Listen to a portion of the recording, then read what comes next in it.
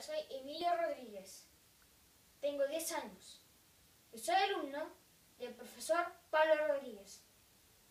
Hoy les voy a presentar la invención número 8 de Johann Sebastian Bach, compositor barroco. Muchas gracias.